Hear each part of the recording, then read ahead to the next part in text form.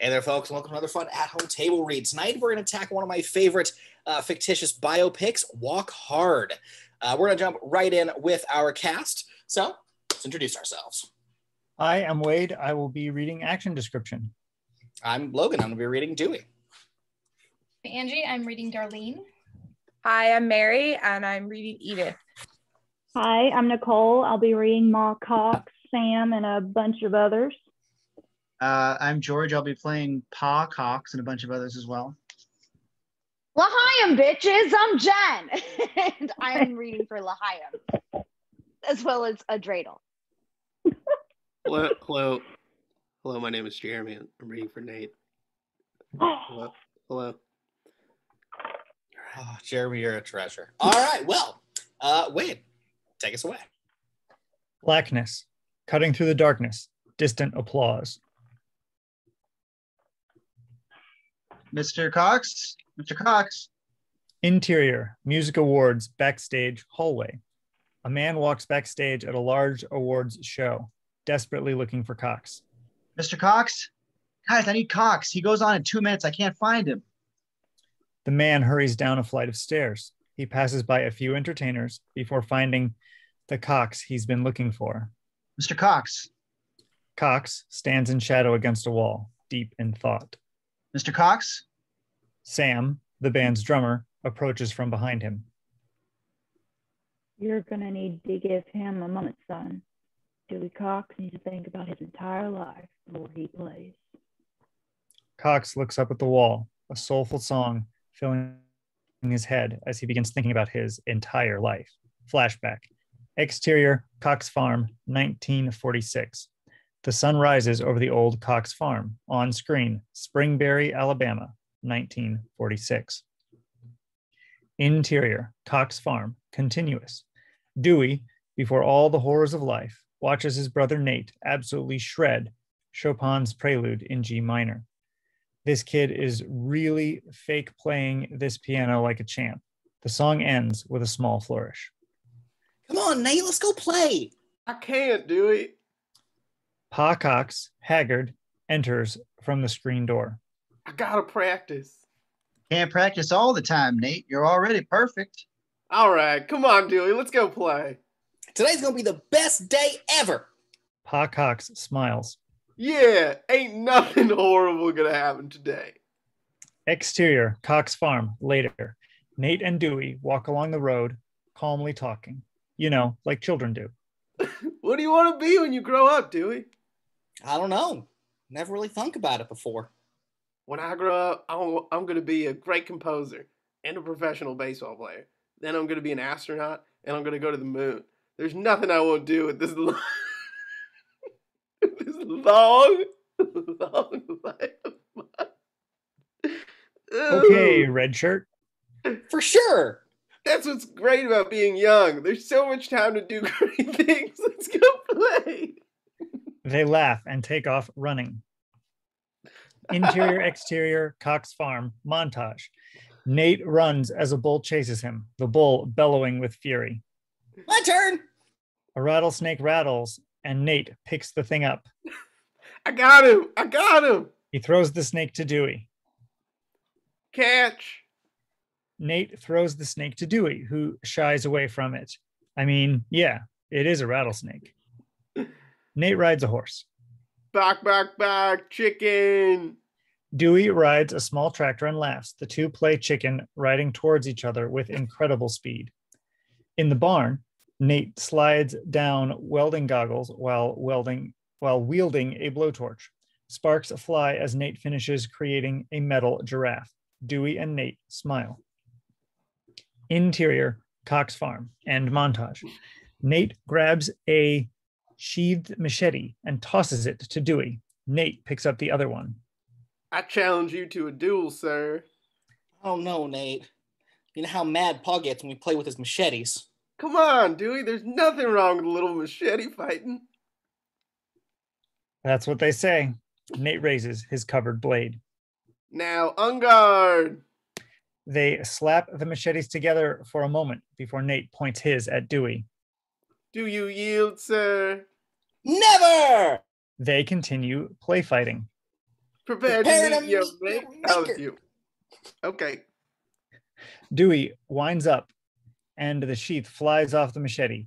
Nate brings his up over his head and Dewey swings with all his child might. The blade slides right through Nate with a loud squish. Nate groans for a moment before suddenly getting shorter. Nate's top half sits on the floor next to his bottom half, which is still standing. Dewey, Dewey is shocked. Nate! I'm halved. Oh, we should have listened to Pa. Dewey, I'm cut in half really bad. In case I don't make it, then you'll have to be double great for the both of us. Wow. It's a lot of pressure, Nate. You can handle it, Dewey. Now run, get Pa. Dewey drops the machete and runs. Nate's legs finally fall over. Holy shit. Interior, Cox Farm, that night. A doctor leaves Nate's room, medical bag in hand. Pa Cox stands by the fire with Ma Cox, the lovely character actress Margot Martindale, and his sister. This was a particularly bad case of somebody being cut in half. I was not able to reattach the top half of his body to the bottom half of his body. Speak English, Doc. We ain't scientists. I'm sorry, folks. He's just, well, shit, he's gone.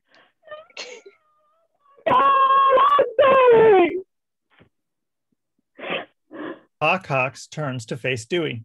It's all your fault, Dewey Cox. Oh, Pa, you don't mean that. It's not his fault. He cut him in half with a machete. No. You. You're not half the boy that Nate was. You're not even half the boy that the top half of Nate was after you cut him in half. So you're saying I'm less than a quarter of the boy Nate was? Pa steps back and decides his catchphrase for the next 40 years. The wrong kid died. Pa walks off as Dewey stops and sniffs his armpits. Ma, I can't smell anything. Can't smell anything. I think I lost my sense of smell. You gone smell blind, son. She hugs her boy tight. It'll pass, Dewey. Now run on down to the country store and get us some butter and a candle. We're gonna light us a candle tonight. Interior, country store. Later, a few grizzled old blues players strum away at an old guitar. I'm a gambling man. I gamble everywhere I go. Dewey perks up at hearing the music. I'm a gambling man. Lord, I gambled from door to door. The little ditty finishes, and Dewey is enthralled. I never heard mu- uh, no music like that before. It's so sad.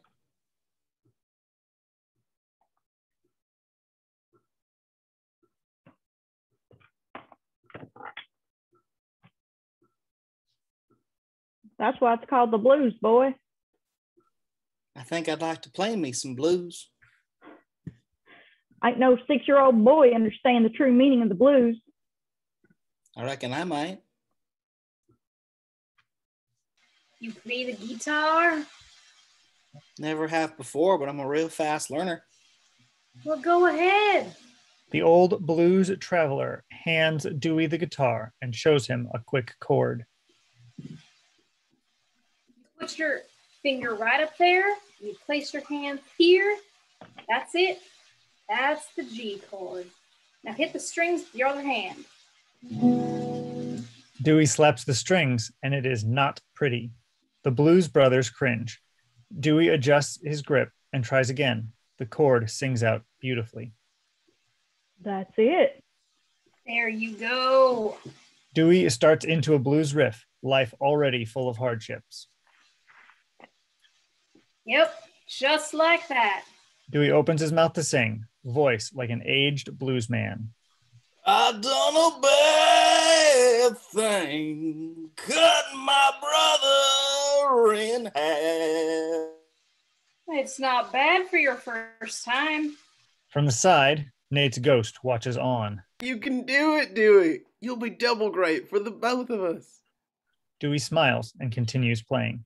Cut to interior, Springberry High School, years later. It's the night of the talent show, 1953. Ma Cox scoots through the kids backstage, looking for Dewey. Dewey? A goat bleats somewhere backstage. Dewey! She enters a doorway and hears a guitar strumming. Dewey! She finds Dewey, looking like a grown ass John C. Reilly. He stands with his hand prepping for the show. He's, he stands with his band prepping for the show. Dewey turns to face his mother. Mama, you made it. There's my favorite 14 year old son. She comes in and starts fawning affection all over him. Come on now, not in front of the fellas. Howdy, boys. Howdy, Miss Fox. I just wanted to say, break a leg. I know you boys are going to play a real good song. Oh, thanks, Ma. I'm just so proud you learned to play the guitar so good. Without having a, the sense of smell. Well, that's all right now, Ma. I learned to play by ear. You just go out there and you, you sing your heart out, you hear? I will, Mama. Interior, Springberry High School, on stage. A girl taps along in a jaunty routine. Dewey and his band watch from the wings. She finishes with a small pose. How are we going to follow that? The ghost of the talent show grabs the the host of the talent show grabs a mic and walks to center stage. The crowd applauds. Delilah Montgomery, everybody. Delilah Montgomery. Very nice. And now, sophomore Dewey Cox is going to sing us a song. So, ladies and germs, The crowd chuckles. I know, I know. Please welcome Dewey Cox and the Dewey Cox Four. the audience applauds as they take the stage. Ma claps loudly as Pa looks pissed. Dewey taps the mic. Hi, my name is Dewey Cox, and this is a little song I wrote called Take My Hand. I sure hope you like it. Wrong kid died, god damn it.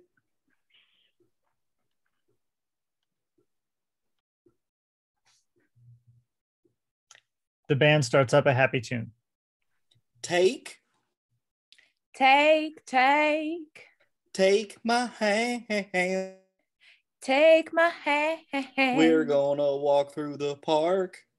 I promise to have you home before dark. In the crowd, various teens stand and start dancing along to the music.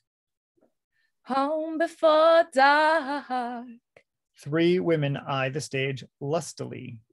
Oh, life would be so sweet walking with you down the street. The street. parents look around in concern. Oh, baby. This music is an outrage. Come on and take my hand. The three women all tear open their shirts for Dewey. It's the devil's music. One of the teens next to the priest winds back and punches him in the face. It's all right if you're coy. A fight starts breaking out. Someone vomits. After all, I'm a boy. The dancing starts taking a 1950s erotic turn. The Cox parents look at each other, confused. And you're a girl, but make no mistake. Dewey turns to Edith, a young Kristen Wiig in the audience. Yours is the hand I want to take. Edith raises her hands in love. Dewey winks at Edith as the band continues. Exterior, Cox Farm, later. An angry mob has gathered outside the farmhouse. You're going to hell.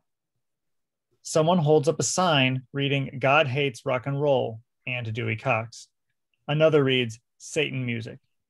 Peppered throughout the crowd are teens rebelliously smoking. Interior, Cox Farm, continuous. Dewey looks out the window with his sisters as Pa enters. That's it. I want you out of this house, boy. Oh, You heard the preacher. You think we don't know what you're talking about when you say take my hand?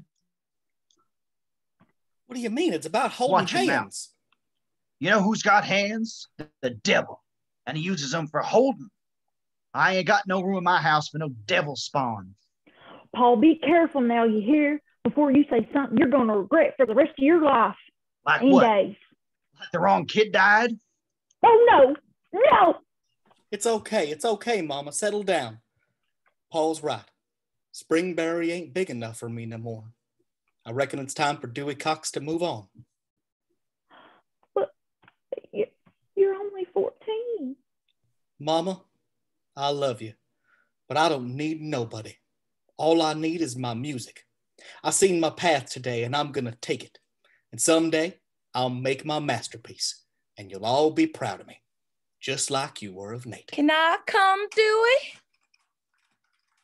Well, of course you can, Edith. You're my girlfriend. I am? Oh, yeah, silly. I pointed to you at Did the you hear that? I'm Dewey's 12 year old girlfriend. You're the most talented man I ever seen in my whole life. And you will never get any but unconditional love and support from me for you and your dreams for the rest of my life. Well then, go on. Get out of this house before I cut your dreams in half like you cut mine in half. Goodbye, Pa. Just wait till you see what happens now. Edith legit starts growling at Pa as we cut to interior Leroy's lounge later. Here we go. Bobby Shad and the Bad Men are playing Jump Little Children as clubgoers dance all over the dance floor. As they play away, Dewey sweeps the floors. We're going to jump little children, mama, papa, go. The dancers are grinding and doing everything but fucking on the dance floor. Dewey tr- tries to sing along to himself, practicing. You know what I said? We're going to jump little children, mama, papa, go. Shad finishes up the tune with an energetic flourish. The audience applauds, Dewey among them. My name is Bobby Shad, and these are the bad men. We're going to take a short break, and then we'll be right back to rock till the morning light. All right? Dewey talks along with him, trying to figure out stage presence. Bobby chef kisses at the audience and leaves the stage. Dewey walks behind him in the small hallway. Mr. Shad? Mr. Shad, wow, that was really great. Hey, you know, I play a little guitar, and if you ever need a. Dewey, Dewey jumps and crosses to his boss. Yes, sir. I pay you to mop the floor, not bother the band. My customers come here to dance erotically and they need a clean floor to do it on. Now, are you going to do your job or I'm going to find somebody who will? Yes, sir. Interior Dewey's house later. Dewey strums away at a guitar sitting next to a crib, yodeling. Low, some blues. In the other room, Edith is feeding a baby, growing annoyed. Dewey, will you cut out that racket? I'm trying to feed your child. Well, how am I supposed to make it as a famous musician if I don't practice? Will you stop talking about music? But it's my dream, baby. The baby starts crying. Daddy said if we move back, he could give you a permanent job at Slaughterhouse. You can make an honest living. Wouldn't you hang your head in shame walking around like some kind of failure? I think I'm doing okay for a 15 year old with a wife and a baby. Ain't no musician ever made no money, Dewey. Edith, I'm starting to think that maybe you don't believe in me. Edith rests her hand on his shoulder lovingly. I do believe in you. I, I just know you're gonna fail. What are you talking about, Edith? What about my dreams? Edith, I told you I can't build you a candy house. It'll fall down. The sun will melt the candy. It won't work. It will it never rains. Now, you listen to me. I'm going to make this dream come true. Nobody ever said it's going to be easy. It's hard. It ain't easy to walk to the top of a mountain. It's a long, hard walk. It's a rocky road. But I plan on walking. Oh, I'm going to walk hard. I will walk hard. A strum of inspiration. Walk hard. Roll credits. I got a full house coming tonight. Interior Leroy's lounge that night. The manager is yelling at the bad men. If Bobby Shad can't play, I need to find someone who can. Thought I could play through the paint. He holds up taped hands. Maybe you should have thought about this before you punched your landlord while you got the laryngitis. I guess there's no music tonight, boss. Bull hickey. People come here to dance erotically like it's fucking footloose and some shit. I ain't got no music. I ain't got no nightclub. Dewey perks up. Uh, excuse me. The manager turns to face him. I, I play a little. I don't know how to tell you this, boy, but you're white. This crowd will eat you alive. I've been watching Mr. Shad every night. I know all the songs. It'll be the same show. It'll be just like Bobby Shad and the Bad Man, only it'll be me tonight. This is crazy, but I ain't got no other choice. Interior Interior Leroy's lounge later. The place is packed. Dewey plucks at a guitar, still wearing his hairnet. Well, I don't mean to put more pressure on you, boy, but this suit's from the record company just got here. Dewey looks to the door and sees three Hasidic Jews, including Harold Ramis and Martin Starr. Oh, okay. Sam, years younger than when we saw him last, comes up behind Dewey, patting his shoulder. Scared? A little. Well, you should be. Those Jews control show business. Just lay down exactly like Bobby does. Dewey exhales. Moments later, on stage, Dewey stands at the mic, band at his back. Good evening. We're Bobby Shad and the Bad Men. I'm Dewey Cox. Bobby Shad couldn't be here tonight, so I'm going to do his show for you. And I hope you enjoy it. The piano plays a small intro, and Dewey shifts into his Bobby Shad. All right, this first song we're fitting to do is, uh, well, it's about when your lady catches you. The crowd looks at Dewey in disbelief.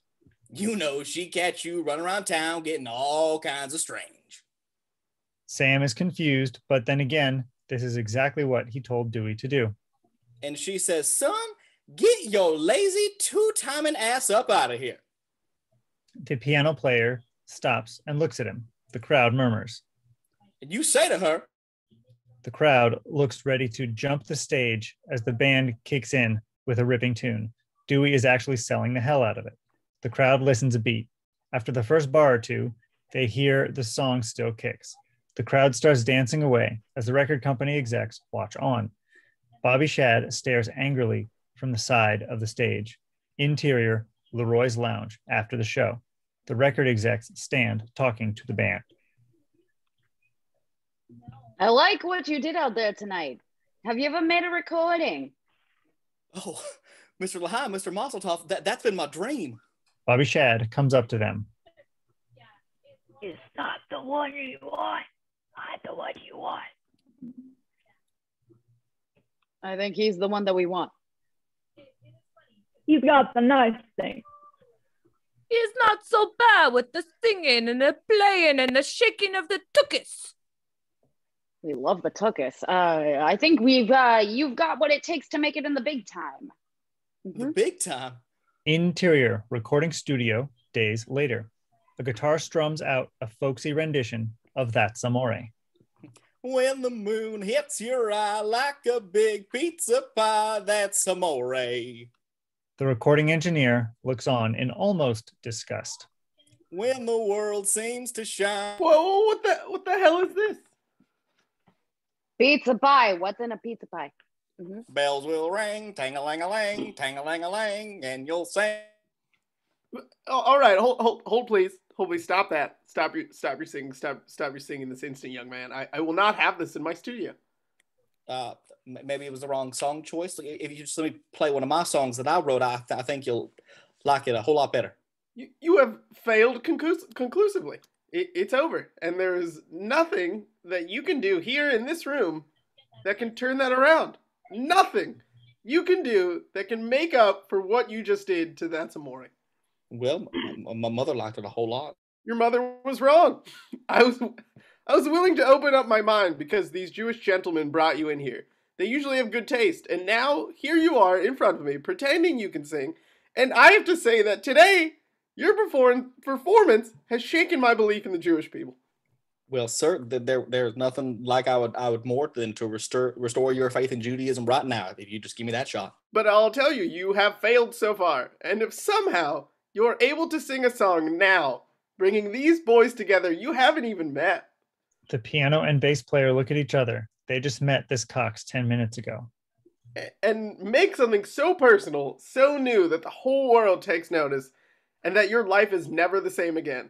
But I'm telling you right now, I don't think it's going to happen. Wait, wait, wait, wait, wait, wait, wait, wait. We're here already. What could it possibly hurt? L'chaim, I'll do it for you, but just one more song. All right. The engineer turns back to Dewey. All right, son. I'm going to give you 15 more seconds. Dewey sighs. Uh, thank you, sir. I, I hope you won't regret it. Dewey straps his guitar on as Theo, the bass player, leans in. Dewey, we don't know this song. Dewey leans in dramatically. You just follow me. Dave, on piano, shakes his head. I don't know. Dewey nods to Sam, who also has never heard this song before. Dewey begins strumming out a simple melody, full of feeling. Walk hard, The recording engineer turns to face L'Chaim, looking impressed. hard Walk hard.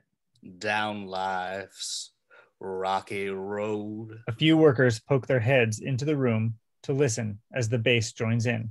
Teens run and gather from outside, only hearing slightly. Walk bold, hard. That's my creed. The piano jumps in. my code. Drums jump in as they continue. Dewey sings as Dave and Theo try to figure out the lyrics on the fly. I've been scorned and slandered and ridiculed too. Had to struggle every dream day the my whole life through. through. In the booth, the engineer dances energetically with the Jews. See my share of the worst that the world can give. But I still got a dream and a burning rage to live. Live. Walk hard. A record is recorded. Interior radio station. Jack McBrayer, the immortal, spins at a console. Here is America's new hit song, Walk Hard, recorded just 35 minutes ago by Dewey Cox. The song plays all over the country. And as the teens hear the lyrics, they can't help but dance. Exterior radio station. As song plays, montage. Dewey leaves the station and is mobbed by fans. There he is. They all carry his record. Interior, Cox Farm, montage. Ma Cox and one of Dewey's sisters dance to the song on the radio as Pa sits sulking. Various locations, montage. As Dewey plays Walk Hard on a small tour, it climbs the chart, charts, reaching number four. The band poses for magazine shoots and album covers. A shot is snapped, and the image becomes the cover of Daddy O magazine. A redhead teen has Cox taped to her wall beside photos of James Dean. Walked so hard. Interior recording studio montage. Dewey and the band still play. How do I walk, boys? Hard. Dewey is handed car keys as the crowd of fans grows. Dewey buys a new house for Edith. Edith sits with a baby in her arms and a baby next to her. She's covering her eyes. After a beat, she drops her hands as Dewey walks in with a chimp. Hello. A monkey? Walk Hard climbs to number one. Dewey and the band sit around a dining table with their wives. A giraffe leans in as Dewey lifts a carrot. Oh, hey, Shorty. Mwah. Hello, oh, my darling. See, I sang a song at a circus in New Jersey. They said, We'll give you five grand. I said, No, you won't. You'll, you'll give me that giraffe.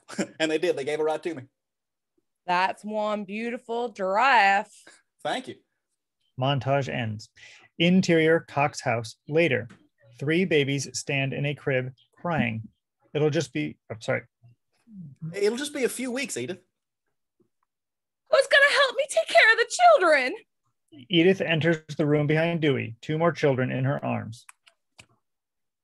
Dewey, you have got to give up on this dream. You're never gonna make it give up, Dewey. What are you talking about? I got a number one hit on the radio. I mean, I'm playing my music for people who want to hear me. It's everything we always wanted, Edith. I never see you anymore. And your kids never see you anymore. I don't know how to tell you this. I'm gonna miss some things, okay? I'm gonna miss some birthdays. I'm gonna miss some christenings. I'm gonna miss some births. Period. Okay? It's unrealistic to think I'm gonna be here every time you have a baby. One of the babies cries. But aren't you happy? You have your beautiful new home, all your fancy new clothes, your monkey and your giraffe. Look, what what what else do you need? How, about- how about if I get you like a like a, like a crow that could talk, and I'll teach him phrases that I say, like a morning, honey. It'll be a little crow talking. This ain't about no exotic pets. It's about love, you stupid piece of shit, She sobs and leaves the room. Dewey. Interior, music hall, night. Later. The crowd is going nuts. The marquee reads Tonight, Elvis Presley and others. On stage, the Big Bopper is in the middle of his show. Hello, baby. Yeah, this is the big bopper speaking. Oh, you sweet thing. Backstage, Dewey watches, looking more and more disheartened. Do I what? How are we supposed to follow that? Uh, d- don't worry, Dewey. You'll do great. oh, thanks, buddy Holly. If you don't, I'll, I'll pick it right back up. You got nothing to worry about. Oh, thanks, man. I'm awful nervous, buddy Holly. Uh, Dewey, you'll be fine. And my name's not Buddy Holly. We get it. You're Frankie Muniz. From behind them, a man from the crew who looks a lot like some guy from an office walks up, although he might be rocking a little bit of a hangover. All right, change of plans. Uh, Elvis wants to get out of here. He's hungry. So we're going to change the order. Uh, so after the Big Bopper, it's Buddy Holly, then Elvis Presley, and then you, Dewey Cox. So so it's the the big big bopper, and then Buddy Holly, and then Elvis Presley, and then me. Yeah, just for tonight. So on a normal night, Buddy Holly's in the middle. That feels right. Well, I'm just happy to be here. Dewey is scared to tears and runs off. Interior music hall later. Elvis runs off stage as the crowd loses their minds. Dang, Elvis Presley, you didn't have to rile him up like that. Elvis turns, upset. What now? No, I'm, I'm Elvis gets up close to Dewey. Excuse me, what? I'm saying we, we got to follow that. And Listen to this right now. There, there are two things you need to know. all right, Elvis counts them off. One, I am the king. Number two is, we're gonna land. Elvis chops at Dewey's neck. Dewey jumps in fear. Look at that coming at you. You see that? It's called karate, man. There are only two kinds of people I know: the Chinese and the king. And I'm one of them. you're the king. Now, come on, it's all right, all right, all right. Look, look at it. Elvis chops again before walking away with his entourage. Huh. Oh, it's a minute. I understand right now. Well, thanks, Elvis. Don't know what's now. Elvis flirts easily with one of the groupies. She swoons. Let's go. Come on, mom. Dewey turns to Theo. The fuck was he talking about? Cut two. On stage, moments later, Dewey stands at the mic. How y'all doing? My name is Dewey Cox. Hey, listen, folks, I, I'd like to play a song I wrote for a very special lady. I'm talking about Mrs. Dewey Cox. The crowd awes. Oh, my darling. Oh, my darling. Yeah, yeah, yeah. I have a perfect life, and you are the perfect wife, but I don't know why I sit and cry. The girls in the audience swoon. And now I miss you so. Please don't let me go. I make mistakes, and that is true. At least I learn each time that I do. Darling, you must believe I could never leave you if I tried. A life without you is no life at all. Cut to interior music hall backstage. The band leaves the stage with smiles wide, Dewey close behind. Wow, great playing, boys. The Phillies love you, Dewey. Yeah, if I wasn't a married man with a good head on my shoulders, I don't know what I'd do. You got to get back out there, Dewey. They're going crazy. Oh, let, let me splash some water on my face. I'll be right back. Dewey hands the man his guitar and runs off. Okay, hurry up. Golly, that rock and roll. The man laughs to himself. Interior music hall bathroom moments later. Dewey pushes through the door to find Sam smoking weed with a few groupies. Sam turns to face Dewey. Get out of here, Dewey. What are y'all doing in here? We're smoking reefer, and you don't want no part of this shit. You're smoking reefers. Yeah, of course we are. Can't you smell it? No, Sam, I can't. Come on, Dewey, join the party. No, Dewey, you don't want this. Get out of here. You know what? I, I don't want no hangover. I can't get no hangover. It doesn't give you a hangover. Will I get addicted to it or something? It's not habit forming. Oh, okay. Well, well, I don't know. I don't want to overdose on it. You can't OD on it. It's not going to make me want to have sex, is it? It makes sex even better. Sounds kind of expensive. It's the cheapest drug there is. Dewey weighs these options. Hmm. You don't want it. I think I kind of want it. Okay, but just this once. Come on in. Dewey closes the door and joins them. So what do I do? Like this. She takes a drag off the joint and hands it to Sam. Then she places her arms around Dewey's shoulders and blows it seductively into his mouth. Dewey inhales as the girl backs away, smiling. Dewey holds the smoke and exhales. A slow smile crosses his face. He chuckles. Oh my. Interior hotel room later. Dewey sits up in bed, talking on the phone. Yeah, well, the tour's going real great, baby. Yeah, we're making a real, we're having a real nice time. A blonde rests her head on Dewey's shoulder. Yeah, the boys been playing real great, and the audience has been just wonderful. So, Interior, Dewey's house, intercut. Edith is on the phone, holding a baby. A nanny holds two more behind her. When you coming home, Dewey? oh, soon, baby, real soon. Interior, hotel room, intercut. The lamp in the hotel room has lace and a bra draped over it. Dewey sits in his tidy whities. We just got to hit the major markets in the in the Northeast and Chicago, Detroit.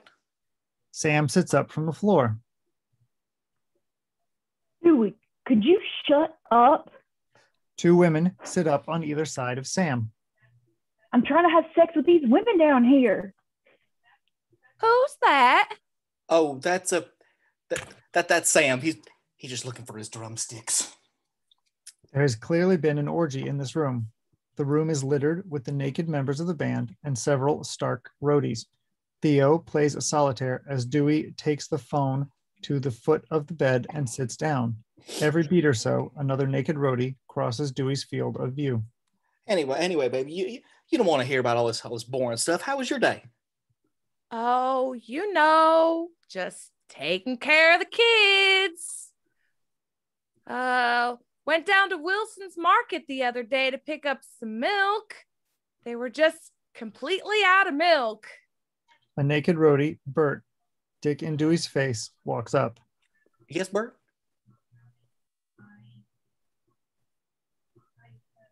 You want a cup of coffee or something?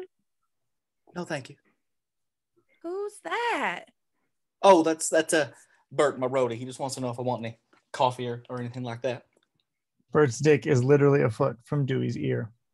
Dewey, there's a distance growing between us. I feel, and I, I don't like it. Oh, no, that, that, that's crazy talk, Edith. You know I'm just the same old Dewey.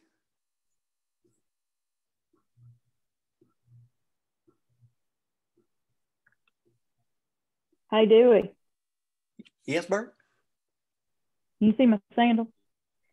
I don't know. I'm talking to my wife. There is a knock at Dewey's hotel room door. Hey, baby, there's somebody at the door. Listen, I, I gotta go. C- can I call you when we get to New Jersey? Okay. Bye. Okay. I love you. All right. I, I love you. I love you. You're never gonna make it, okay? Okay, bye. Bye. Interior hotel room moments later, Dewey opens the door to see his father. Pa, Dewey. what are you doing here? A naked groupie looks out into the hallway. It's about your mama. Ma, what about her? Is she okay? The girls looking out are joined by the naked Bert, and Pa looks confused. Dewey looks back and moves his father into the hallway. Better step out into the hall. What happened? I'll tell you what happened. We were readying for bed when your song comes on the radio. Interior Cox Farm. Back when? It's Dewey. Ma Cox turns up the radio as Walk Hard plays. She looks at Pa, who sits scowling in his chair. Your son is so talented. You should be proud. Well, I must admit, it is kind of catchy. Dance with me, Paul. Pa smiles for the first time since Nate was cut in half and stands to dance with Ma. It does make you kind of want to move, doesn't it? It sure does. They laugh and dance happily. You know, maybe I have been kind of hard on little Dewey. Maybe you have. Hey, hey. Pa spins Ma, and her feet get a little tangled in the cord of the radio. Be careful, Ma. He tumbles backwards out the window, crashing to the ground below. Whoa, are you all right, Ma? I'm all right. She starts to pick herself up. As she rises, the cord wraps around the cord wrapped around her yanks the radio from the wall. It topples out the window after her, crashing into her head. She falls, dead. Interior hotel room present. Dewey can't believe it. She lost her balance, fell out the window, and then the radio crushed her head. While she was dancing to your song, I thought you should know what your music does. It kills people. You made it happy and it killed her. If Nate were alive, this never would have happened. Pa walks away as Dewey starts to break down. He pops back into the hall and stares Dewey down. Wrong kid died. Dewey sobs in the hallway. Interior hotel room bathroom moments later. Dewey opens the bathroom door to find Sam doing coke off of the sink with a couple of groupies. Get out of here, Dewey. What are y'all doing in here? Whew. It's called cocaine, and you don't want no part of this shit. Cocaine? Sam nods happily. What's it do? It turns all your bad feelings into good feelings. It's a nightmare. I'm thinking maybe I'd like to try me some of that cocaine. He enters the bathroom and closes the door. Interior, empty music hall. Later, Dewey races the band through Walk Hard faster and faster. He is coked out of his mind. Theo and Dave struggle to keep up with the tempo as Sam plays along effortlessly. Walk hard, hard, hard, walk hard, hard, hard, walk hard. The guitar screeches feedback. All right, again, faster. Ain't nobody gonna want to listen to music like this. You're standing there playing as fast as you can, singing like some sort of punk. Don't you dare try to stifle me. Whose band is this anyway, you cocksucker? I'll punch you in the mouth. Oh God, I'm so sorry, Dave. Dewey goes in for a big hug. No, I, I didn't mean that. I'm just with my mama dying and all. I'm, I'm all twisted up inside. Mr. Cox, In the aisle stands Darlene. Dewey turns to face her. I heard you were looking for a new backup singer for your new duet. You heard right. I was wondering if you might like to give me a try. I reckon I might. Dewey helps her up on stage. One of the backup singers rolls her eyes. I've been singing in my church choir since I was a girl. I like the sound of that. Darlene Madison. Dewey Cox. And with that, the duet and montage begin. Interior, exterior, various, duet montage. Dewey and Darlene sing together into a mic. Hello, Darlene. Hello, Mr. Cox. You ready to sing one? I'm always ready. Well, all right. In my dreams, you're blowing me some kisses. That's one of my favorite things to do. You and I could go down in history. That's what I'm praying to do with you. Let's duet in ways that make us feel good. As the song continues, Dewey and Darlene duck backstage. Darlene runs up to Dewey and pulls him into a kiss. She shoves him back. Oh, She slaps him once, twice, Dewey Cox. I am not that kind of woman. another slap. Laura. Well, that doesn't mean we still can't be friends. Okay. Well, then, here's to us being great friends. She puckers up for another kiss. He moves in. She pushes him off. I can't. We're friends. Another slap. They continue singing. I just want to beat off all my demons. They pray in church, clearly lusting after another. That's what loving Jesus is all about. The pair walk down the sidewalk, each eating an ice cream cone erotically. He tongues the cone and she puts the ice cream in her mouth. Looking in your eyes, I start believing. Let's bring this whisper to a shout. Darlene and Dewey work with wood. Heh. Darlene saws as Dewey hammers something. Let's do it in ways that make us feel good. They are both enjoying this woodworking a little too much. Put two and two together, perfect harmony we found. Dewey is sanding down a chair leg, practically jerking it. Dewey and Darlene ride horses, showcasing their riding techniques. We know it's only natural. Let- Let's do it. They sing on stage. I just want to make out what you're saying. Read my lips is what you're looking for. Here I am a sneaking up behind you. You can always come in my back door. Dewey helps Darlene off a horse. Let's duet. There's another intimate moment here between the two. They move in, almost kissing. Darlene looks away, and Dewey moves back, kicking himself. Darlene, these last three weeks have been so full and wonderful. We've shared so many activities together as good friends. It's like you understand me the way nobody else ever has. Darlene smiles wide. I mean, if I. Dewey glances aside and catches a look at a gleaming machete. He hears the blade ring and screams, The memories. He falls back towards a bench. Darlene rushes to his side. What is it, Dewey? I, I don't know. It's, it's nothing. I'm fine. Nothing. You look like you're seeing a ghost. I got a lot of pain in me, Darlene. You should know that. Where did all the pain come from, Dewey?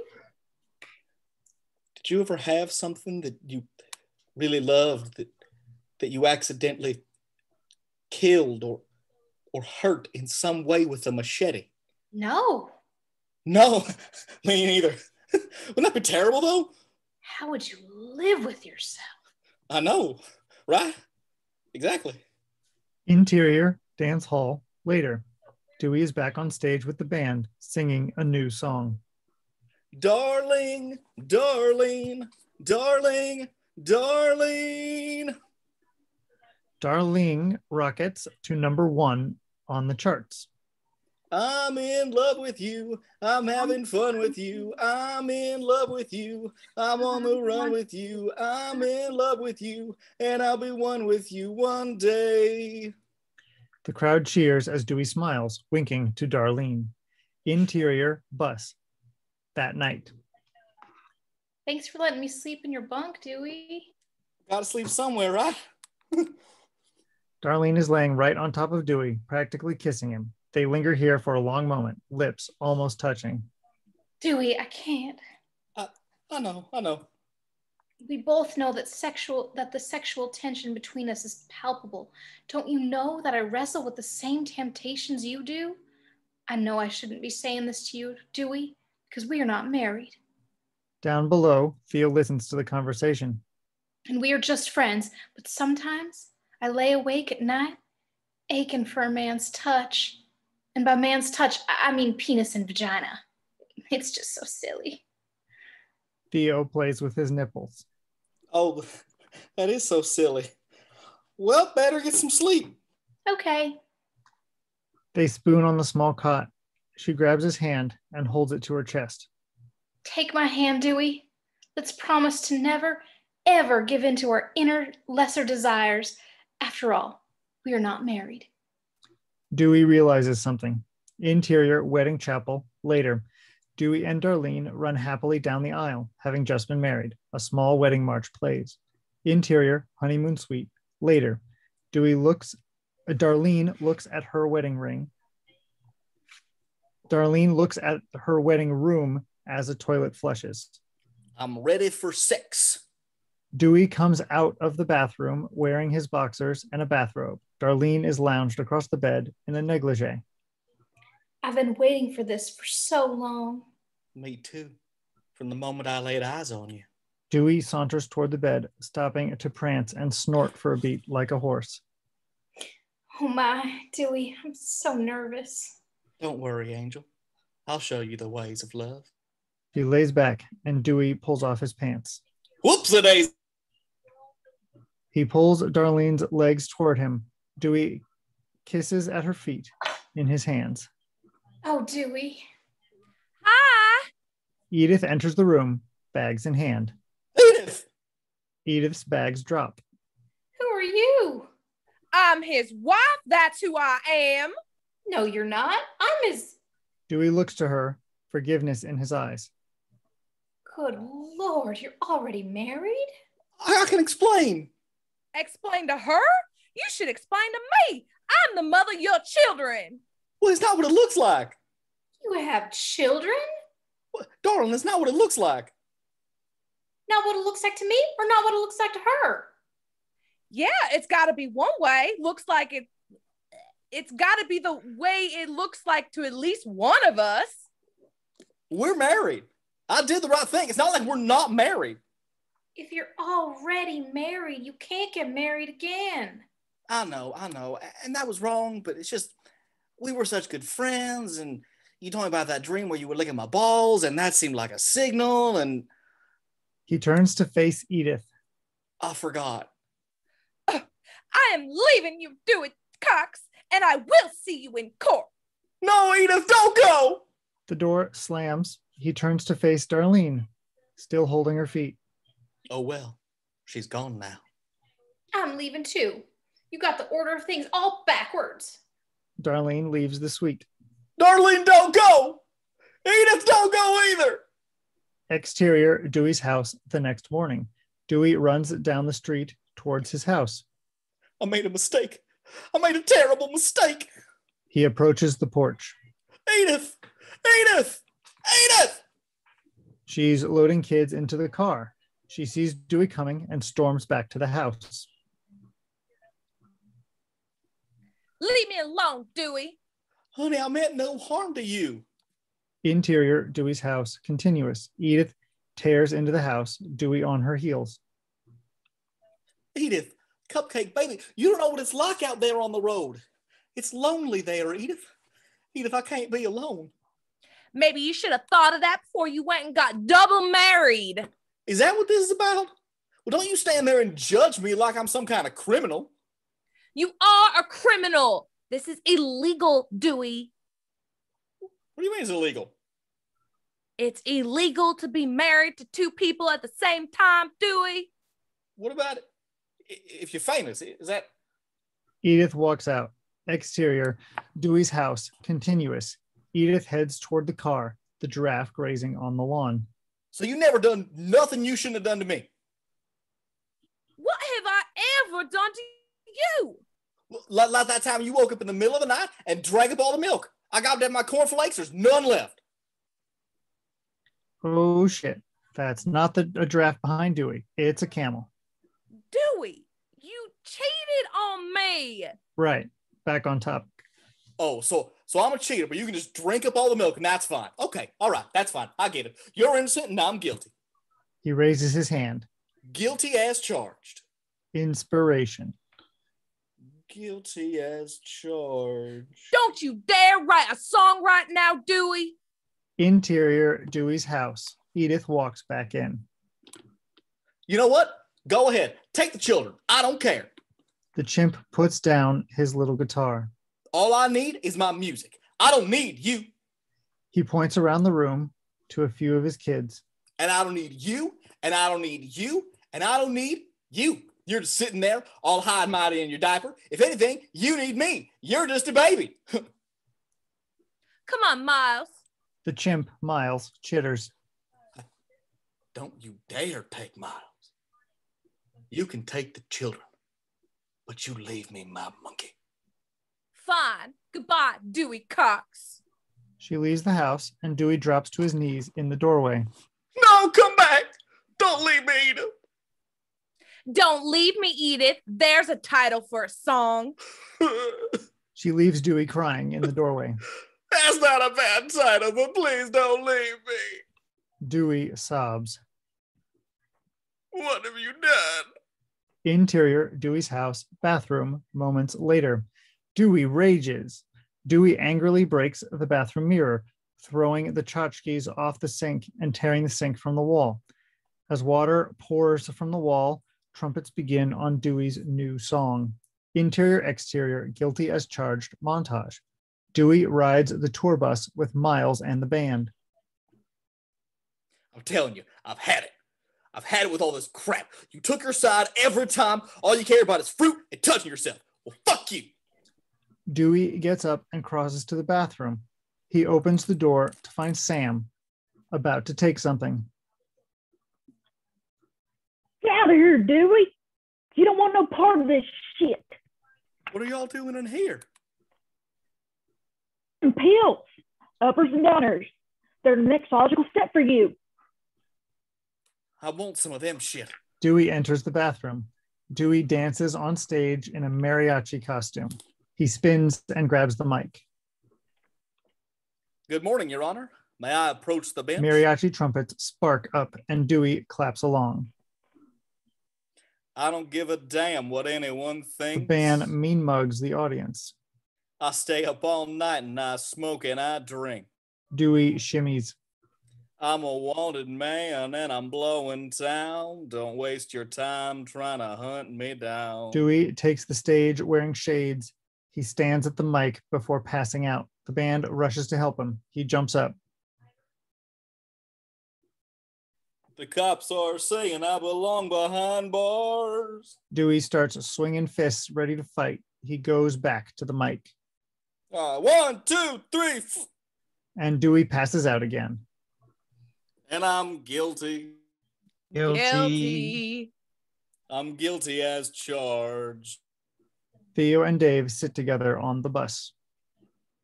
Does Dewey seem unhappy to you? Dewey sobs. He's changed, I tell you. He's changed. That was early Dewey. This is middle Dewey. A girl grinds on top of Dewey, who wears shades. Dewey, are you enjoying yourself? What? Oh, I'm sorry. I forgot you were here. Dewey walks with Dave backstage, each with their arm around a girl. Hey, Dave, I like your girl better. Let's switch. Well, Dewey, this is my wife. Oh, nice to meet you. Well, this is Kathy. Kathy, this is Dave. Come on, darling. Dewey walks off with Dave's wife, leaving him with Kathy. So, where are you from? Dave looks awkwardly at Kathy. Hi there. Back on stage, the band performs. Guilty. I'm guilty as charged. Sam kicks out a quick solo. I ain't asking God to forgive my sins.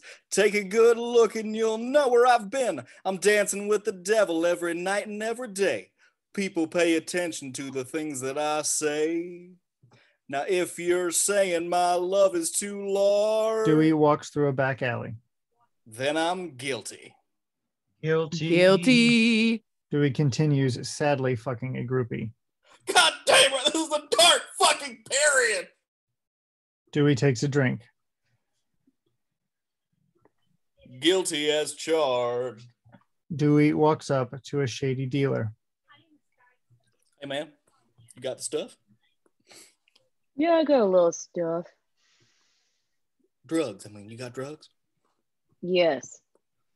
I have drugs. Good, because I need to buy some drugs. Are you asking me to sell you some of my drugs? That's what I'm asking. I'm asking to buy some of the drugs that you are dealing. Let me see your money. Dewey pulls out a stack of cash. Let me see your drugs. The dealer pulls out a bag of pills. How much of my money to buy some of your drugs? Fifty dollars. Here's fifty dollars. Give me fifty dollars worth of drugs. A large bag of pills plops into Dewey's hand. A whole bag. A bag. cop bursts in front around the corner. Freeze! Dewey sees the cop. Put your hands above your head.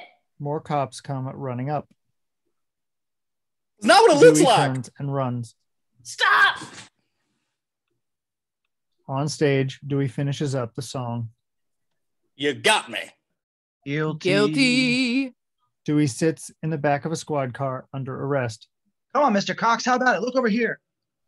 I'm guilty as charged. A camera flashes. On stage, Dewey holds out his hands in mock cuffs. The song finishes and the lights go out. Interior, prison, later. Dewey sits in a cell, twirling a cigarette. Cox, you got a visitor. Dewey steps out of his bed. Prison has changed me. Interior, prison meeting room, later. Dewey sits with L'Chaim at a table. I understand the common man in a way I never did before. I've seen misery and suffering, the likes of which you'll never know. In some ways, it's hardened me. In other ways, it's opened my heart.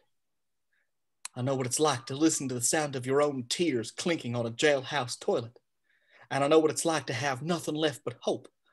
And then they take that hope away, and you find that hope again in the Bible. And then they take your Bible away. You've only been in here three hours. It doesn't matter. I gotta get out of here so I can bring joy to the men back in here. But I don't want to live with them. I'm not an animal. I'm an artist. I'm a singer songwriter. You know how rare that is in this age? Lean closer. Dewey leans in. I'm going to speak to you in my language so that the gods can understand what I am saying. I understand. They want to lock you up for 20 years. There must be something you can do. I'm 21 years old. I have a whole life ahead of me. We think you, we, we can get you off, but uh, you're going to have to uh, baseball. Baseball? L'Chaim nods. What do I have to do? You have to go into the, uh, the rehab. Rehab? Rehab. Dewey isn't getting it. Rehab. Oh, rehab. Oh, okay. I got you. Yeah. They try to make me go to rehab rehab. later. Dewey rises in bed in the midst of withdrawals. Doctor, doctor. A doctor runs in. I'm so cold. The doctor checks Dewey's pulse. We need more blankets. We need more blankets. Interior rehab a day later. Dewey writhes in bed, covered in blankets. Doctor, The ner- the doctor runs in. I'm so hot. I think he has too many blankets. Fewer blankets. Fade to interior rehab. Next day, Dewey arrives in bed. Oh, hot and cold at the same time. He needs more blankets and he needs less blankets. I'm afraid you're right. Interior rehab. Dewey's bed. Later, Dewey thrashes. I can't stop moving my arms and legs. I got too much freedom. Get the restraints. Restraints. Interior rehab. Dewey's bed. Later, Dewey thrashes. Now in restraints. Ah, my balls itch. My balls. Nurse, his balls. Oh, Mm. oh, hmm thank you, nurse. hmm Interior rehab. Lower chamber. Later, Dewey sits in a tub covered with leeches. He groans quietly. Boo hoo. Boo hoo. Ah! Dewey looks up and sees the ghost of his brother Nate. Who are you? Me, Nate, your big brother. Nate? Are you haunting me? Dude, I just came back to say, what's become of you? And also, you can do it. You can do it. I mean, look, it it's a little general, but I'm trying to be encouraging. I appreciate it. Hey, brothers do anything for each other, right? Yeah, you name it. Well, Nate, I need you to do one little thing for me. Of course. What do you want me to do, Dewey? Go get me some drugs. Drugs? The nurse actually said that you were going to ask me for drugs. I spoke to her on the way in, and I don't think I'm supposed to do that. Go get me some cough syrup. About 10 bottles of cough syrup. Oh, cool. Hey, do I look like a fucking idiot to you? Just go give me the fucking drugs. I'm covered in leeches. You know what? I'm gonna leave you to your treatment and your leeches. You put me in a totally uncomfortable position. You go to the doctor and you tell him I need to lose some weight. You get go get your own damn drugs, Dewey Cox. Maybe I don't believe in you. Wait, Nate, come back. Nate starts waving his hands as if he's fading. I don't believe in you. Don't make me rehab. Nate, Nate. Dewey thrashes in the tub. Interior rehab, Dewey's bed, montage. Dewey's friends come by to check in on him one by one. Dave looks at Dewey. Dewey, my wife sends her love, asshole. Theo sings while holding his bass. Dewey, tall and powerful, like a Greek or Roman god. I hold the hem of your garment, and I will walk behind you. Sam checks in. Hey, Dewey. I was just over in Ray Charles' room. He says hi. Pa checks in. Dewey, I don't know if you can hear me in there, but the wrong kid died. Sam hangs with the nurse. Dewey, do you mind if we get stoned in here? Oh, he can't hear you. He's gonna die anyway. Dewey screams in his bed, fading into unconsciousness. Oh, wait, he's back. Nope, out again. Interior rehab many days later. Dewey lies asleep in bed, a book across his chest. A shadow crosses his face as Darlene sits on the bed. Are you ready to come home, Dewey Cox? Dewey wakes and sees her, backlit by the sun, looking angelic. Darlene, I could never get you out of my head, me neither. I could never stop thinking about you. but I wasn't. But I wasn't gonna be no homewrecker. Now that I'm your only wife, though, it seems different. I'm a new man, Darlene. Prison and rehab have changed me. All these blankets have saved my life. I think you're finally ready to be the man I always thought you could be. She moves in for a kiss, but as he closes in, she retreats.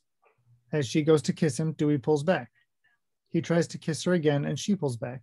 She tries to kiss him, he pulls back. He tries, she pulls back. She tries, he pulls back. Just fuck already. Dewey slams her into a wall and starts kissing her. Okay, I didn't mean to go all NC 17. They kiss passionately until she throws Dewey back into a table and pulls his pants off. She knees Dewey in the dick. Once, twice, thrice. Darlene crouches down. Let me get this off. She stands and smacks him in the face with her high heel before kissing him again. Dewey starts choking her and she chokes him back. I love you. I love you too. They kiss once more. Dewey pulls up his completely genuine John C. Reilly abs and totally not a body double. Stop it. Oh my God. Dewey steps forward.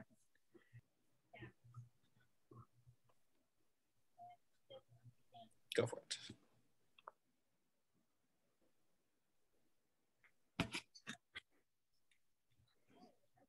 We ready to go? Yep. Exterior Dewey's California house years later. A party is going on. On screen, Berkeley, California, 1966. The band are all full on hippies and chilling at a picnic table setup. Hey, boys, have you seen Dewey? I think I saw him in the barn with that long hair guy. Oh yeah, he was talking to Charlie, Charlie Manson. Oh, his music is horrible, but he's a really nice guy. Oh, couldn't be nicer. Yeah, yeah. Darlene walks into the house. Interior Dewey's California house. Moments later, Dewey sits on the couch alone, plucking away at a guitar. Darlene enters and finds him. Come on, Dewey. It's almost time for Dooman's cake. All right. It's just, it's hard for me to sit around at some birthday party when I know there's so much injustice going on in this world. I know. My daddy was right. I can't spend all my time thinking about Dewey Cox no more. I got to think about the other people. Like your family. No, I mean, like people that's having injustices done to them, like women and midgets and such.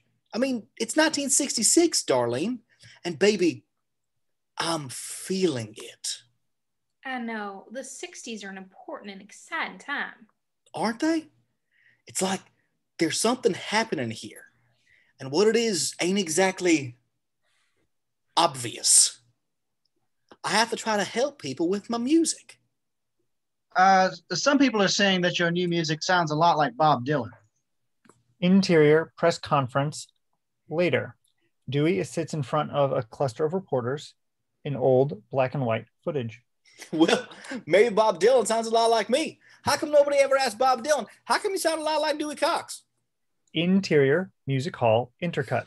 Dewey sings on stage. Very Bob Dylan. Mailboxes drip like lampposts in the twisted birth canal of the Coliseum. Rim job fairy teapots mask the temper tantrum. Oh, say, can you see? Stuffed cabbage is the darling of the laundromat. The mouse with the overbite explained how the rabbits were ensnared. Backstage, Dave stands with Theo. What the hell is this song about? I have no idea. You guys are idiots. This song is very deep. Inside the three eyed monkey within inches of his toaster oven life. Interior press conference. Reporters raise their hands. Uh, what do your parents think about your protest songs? What do your parents think about my protest song, Mr. Time Magazine? Exterior park later. Dewey sings to a small crowd, all cheering. All the elevator buttons so incredibly high. I stand today for the midgets, half the size of a regular guy. The crowd holds up signs. On the edge of the crowd stands a group of little people. So let me hold you, little man, as the parade passes by. Let me hold you, little man. We'll make believe you can fly. Some of the signs read short some of the sign some of the signs read short power and short panther party. You shout for me to put you down, but I'm marching today for your cause. I'm banging the drum. Your big day will come when they remake The Wizard of Oz. The crowd nods in agreement. So let me hold you, little man. Pretend that you're flying in space.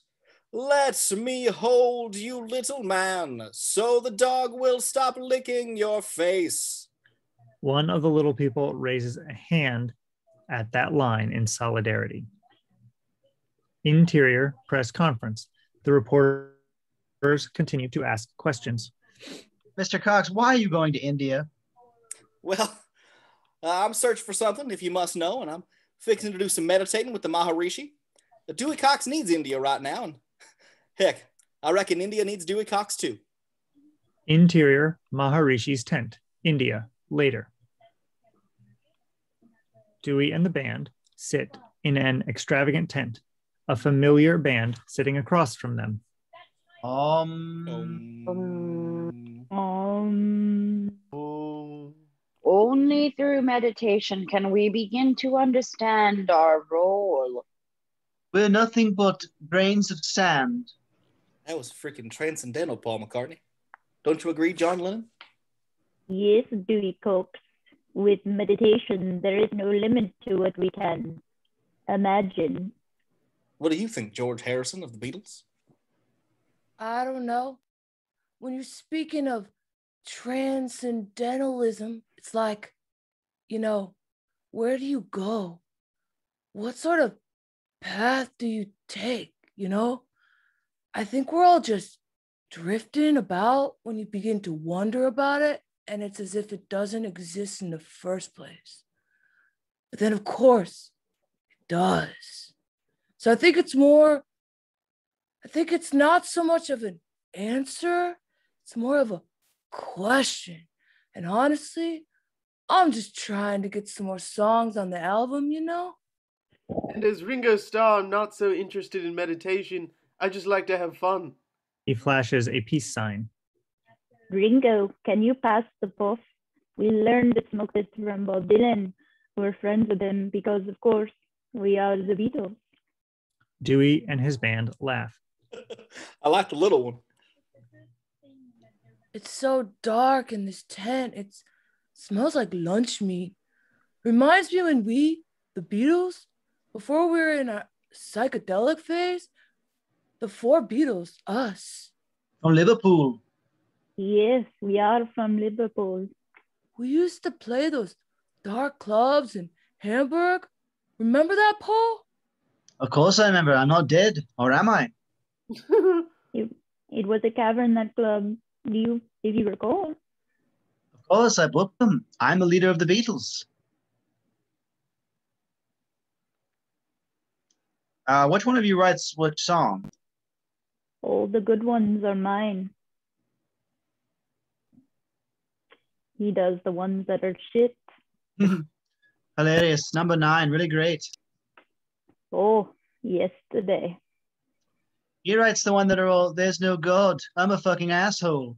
And I write the ones that are beautiful and great, and then he'll jump in with a yeah, yeah, yeah. I write the songs about peace and love. He writes Suicidio. Communism is the best. I'm a commie. That's his song. Me, I wrote Taxman. Well, I have to say, I like your stuff. It's pretty good, and uh, most of your records I really enjoy. Uh, we're big fans of your records too. We like to think that Hard Day's Night was our guilty as charged. Great record. Excellent album. We learned a lot from you. Great record. Oh, we're real big fans of y'all. Huge fans. You're almost as good as the Monkees. Guys are great. I think I might have gone to another dimension, take some LSD. Do you care to join me? Yeah, let's do that. Care to join us for some LSD? Do it. It's good for you. Built by scientists, it is. Lysergic. The CIA invented it so it's very safe. It's vitamins for the soul. Well, Ringo Starr, we are here for meditation. Mm, not for medication. But it's not technically medication. It's more of a relaxation benefit for your brains. Guru, you are the least famous person in the room. No offense, but these are the Beatles, and I'm Dewey Cox. Maybe just chime in when it's appropriate. Dewey sighs and points to his wedding ring. Gotta check in with Come headquarters. on, Dewey Cox. Think you might enjoy it. Open up your mind to a new experience, a new level of consciousness, like we do because we are the Beatles. Everybody's got something to hide. Ringo taps his shoulder. Right. Except for me and my monkey.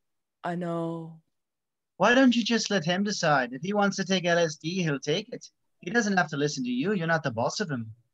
Don't tell me what to say and what not to say, Paul McCartney. I'm sick of you being so dark when I'm so impish and whimsical. I'm sick of it. Oh, hey, everybody. I'm sick of it. I've got a new brand new mantra. Um, um, Paul McCartney can suck my balls. Oh, I've got another one. Um, Paul's a big fat cunt. I don't know why you two don't just let me write more songs. I I just sit here while my guitar quietly whimpers. Well, you're the quiet one, so why don't you shut the fuck up? I've got a song about an octopus. Jam it up your ass. You're lucky we still let you play the drums. Wow, there seems to be a, a rift happening between the Beatles. I wonder if your song will still be shit when I'm 64. Great sod. Paul dives at John. No, stop it. You bastard! You fat bastard! Beatles, please stop fighting here in India. let him go. Let, let him work it out. Taste it, Right there in the buttocks! bastard. Interior tent later. Dewey sits with Darlene. Dewey, you've been living clean for three years now, and it's done a world of good, has it not? Look, I know I've had my trouble with drugs in the past, but I'm addicted to coke, weed, booze, loot, and speed. Not LSD. Nobody gets addicted to LSD. It was invented by scientists. Ringo Starr just told me. I heard that doing LSD can awaken your demons. Dewey scoffs. I ain't got no demons gonna get woke. Dewey laughs. Darlene is still unsure. If you promise it'll just be this one time. Okay, let's go drop acid with the Beatles. Interior, Maharishi's tent, India, later. Dewey and Paul McCartney drop a tab of acid onto their tongues. Exterior, Beatles' Yellow Submarine LSD trip, timeless. An eye opens on a cartoon reality. Animated Beatles riding by on a four seated bike. The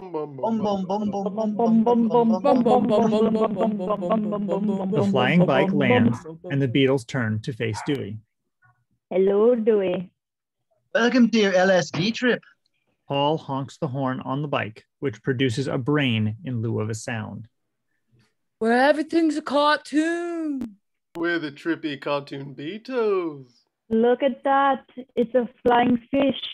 Yep, that's exactly what it is. A big ass fish flying, smoking a pipe. Totally trippy. A cartoon Dewey crosses to them. Wow, this LSD's all right. I like being a trippy cartoon. Just keep thinking happy thoughts, Dewey. I'd hate for this to turn into a bad trip. Uh oh. Uh oh. The animated sky darkens. Uh oh. What's, what's that scary music? The hills are slowly replaced with several hands flipping Dewey the bird.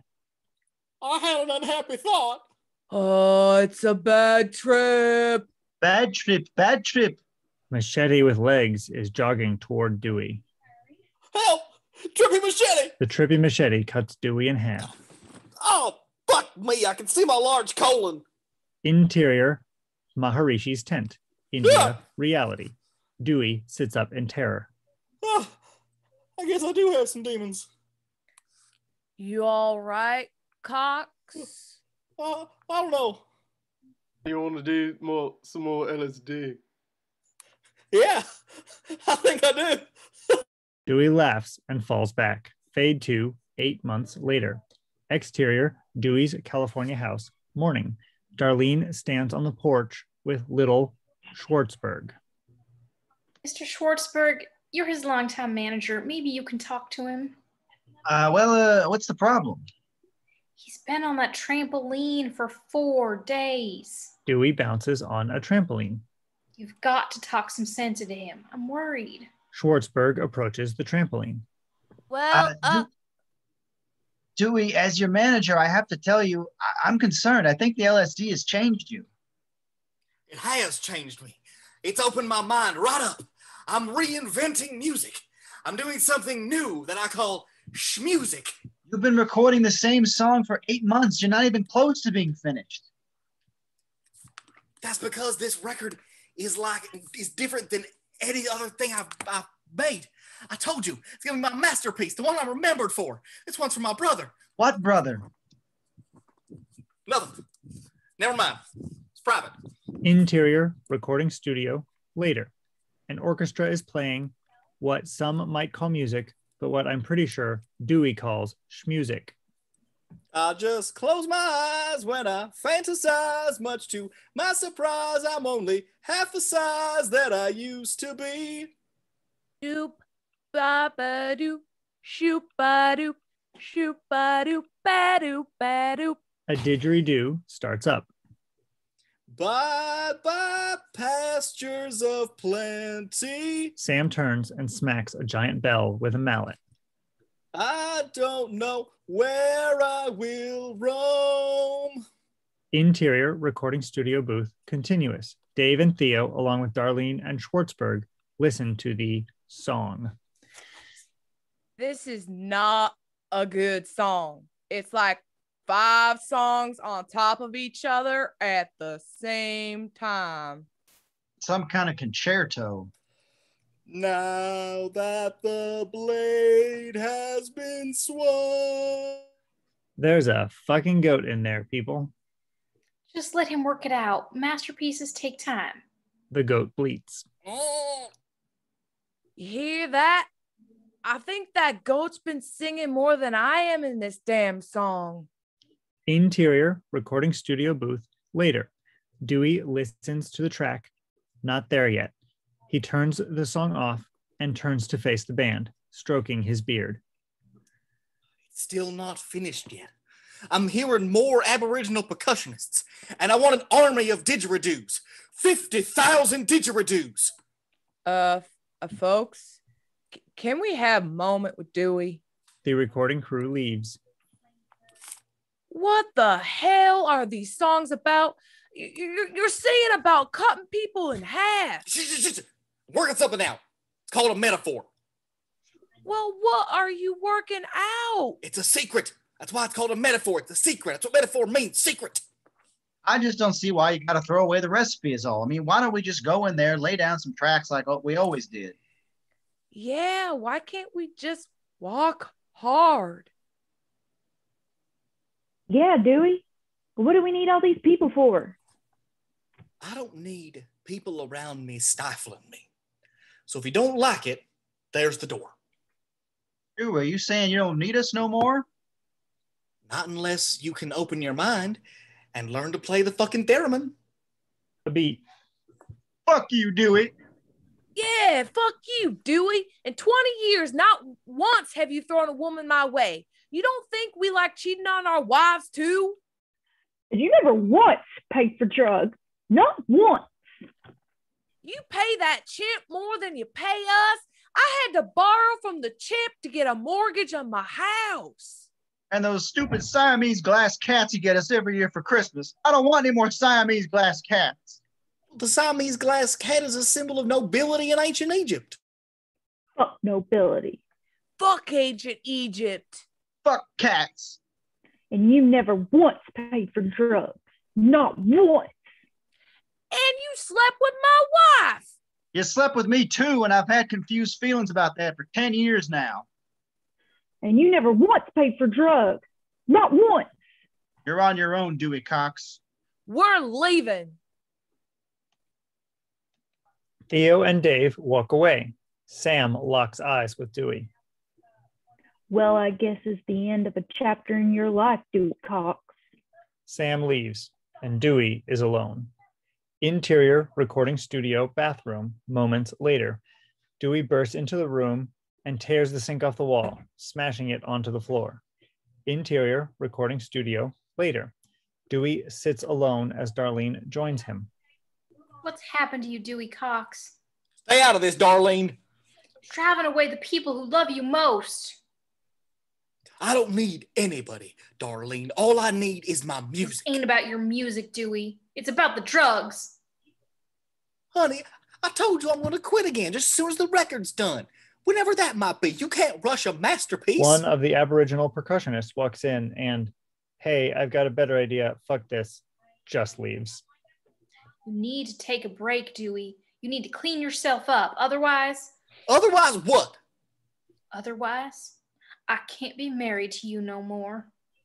I know you don't mean that. I believe you know that I do. This shakes Dewey. Okay. Okay? Okay. We'll take a break I will take a break. and you'll and you'll quit the drugs? And I will quit the drugs. Dewey, oh baby. She rushes in to hug him. I've been praying about this day for so long. As the hug breaks, Dewey pops something into his mouth. What did you just put in your mouth? Come. You ain't chewing no gum. Dewey swallows. Candy? What did you put in your mouth? It's PCP! Oh, you just said The PCP hits. Wow! Dewey starts running out of the room. I'm going to town! Interior, in town, moments later. Dewey races into the town square wearing just his tidy whities. He runs into traffic, cars honking their horns at him. Dewey slaps his hand down on the hood of the car and starts trying to lift the car. Ah, whoa, whoa, whoa, whoa, whoa. Dewey launches the car into the air and into a storefront. He launches a mailbox into a window, shattering it. Say it with me, folks. He's going to wreck it. A small squad of cops sees the chaos and perks up. Dewey sees the cop cars racing down the street toward him. He shoves officers away as he races for escape. Darlene races down the street. Dewey, get off that building. It's inappropriate. Dewey is now climbing one of the buildings like King Kong. Oh shit, another John C. Reilly movie. Get get off there, Dewey. Dewey Cox, Dewey laughs like the devil. you give me no choice. Breaks my heart, but I'm leaving you. I'm Zeus! Dewey cackles from the rooftop. no mortal can stop me! I'm Zeus! Interior prison. A cell door slams on Dewey. Interior prison meeting room. Rehab? Rehab. Dewey shakes his head in agreement. Interior rehab basement later. Dewey sits in a bathtub, electrodes on his temple. Electricity buzzes and shocks Dewey.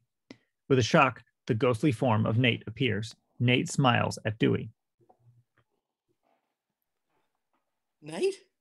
Suddenly, Nate shifts to a grown man, looking like a super bad adult. Ah!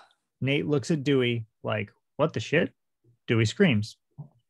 This is what I'd look like if I had grown up into an adult and perhaps ha- hadn't been murdered or whatever. I just came to tell you you need to get your shit together. I know. I've Well, fallen will you listen to yourself? You keep whining like a little bitch. if I was alive right now, I'd be fucking president of the United States. I'd be on the moon, walking around looking for aliens to kill. You know why dad liked me better than you? Because I was better than you. When I played the piano, I was fucking awesome.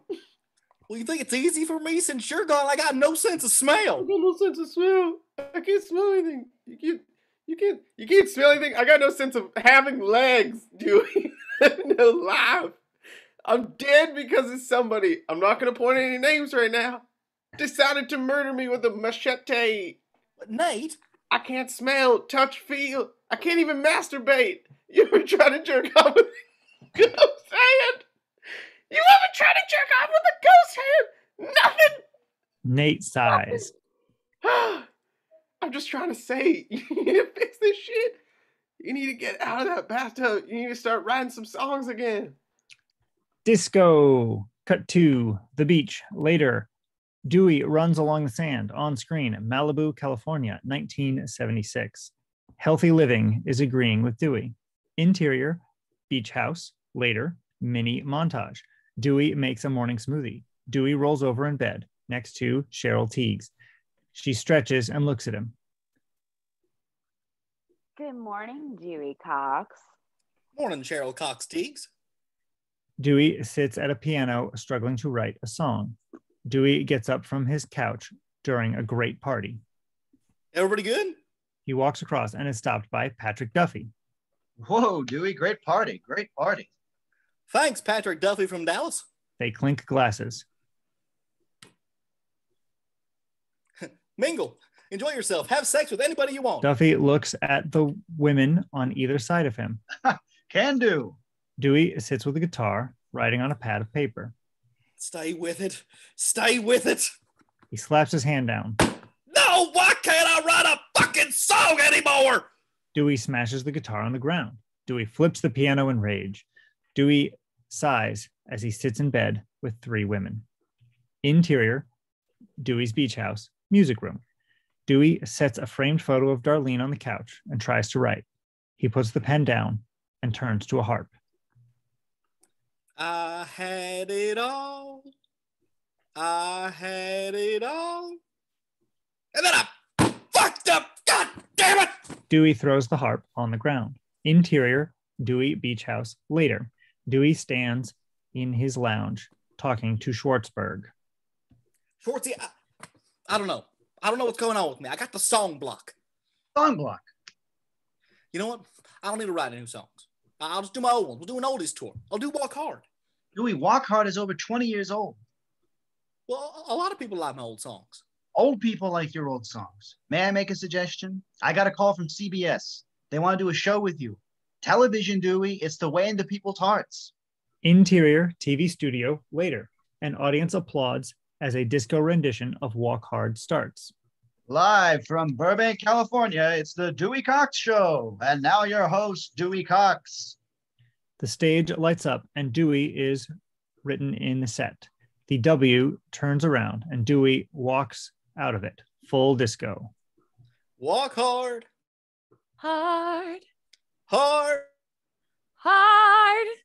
hard. The, a new band grooves along with this rendition of Walk Hard. Dewey finishes with a smile. Walk hard. The image freeze frames and stay tuned flashes on screen. Stay tuned. When we come back, Cox sings David Bowie. With the singing swinging Cox dancers, Dewey dances the robot with the intro of the song. There's a star man waiting in the sky. He'd like to come and meet us, but he thinks he'd blow our mind. Dewey salutes on a screen. We'll be right back with more Cox after this. Interior TV studio later. Dewey stands on stage in a bad caveman costume, rehearsing a sketch. I mean, what do I have to do to get you on my bone? Invent fire? And then huge laugh, and we all go to commercial. Yeah. Dewey starts leaving the stage toward Schwartzberg, who clearly isn't enjoying the show. All right, take five. Hey, great rehearsal, Dewey. Very funny sketch. Thank you. But have you seen the ratings? Every week we're getting our asses kicked by the Incredible Hulk. Okay, that's a great show. Well, last night's episode was a very special episode. They revealed that the Incredible Hulk has an evil twin, and he's not green, he's red. Red Hulk. Nice reference. I know it was amazing. Did you see it? You can't compete with that. But listen, we do need to do more promotion. So here's what we're going to do we're going to introduce people to the new Dewey Cox. In fact, I got a girl here right now to interview you. She's from the local affiliate in Dallas. Oh, well, I I don't know. I'm not. I'm not so good with interviews. Puffy, it's a puff piece. It's it's very puffy. All you have to do is remind the audience that you're not mainlining acid anymore, and that the show it's a lot of fun, right? You're having fun, Yeah, and it's on every Thursday night at eight after the local news. it's on every Thursday night at eight o'clock, but after the local news. And I'm not mainlining acid. Anymore, Well, I'm not, I'm not gonna promise that. Whatever you're comfortable with. I don't smoke angel dust anymore, so don't be afraid. Something like that. Interior TV studio interview minutes later. Dewey sits with Gail, who doesn't love some Jane Lynch, who's perky and ready for the interview. So why don't you tell us about your new TV program? Well, Gail, it's a variety show. I do a little bit of everything. I do some singing, some dancing, chatting with the guests, the skits, the monologues, the comedy. Wonderful comedy. It really is a lot of fun. Well, we're going to have more fun when we come back from this from a word with our sponsors. Don't go away.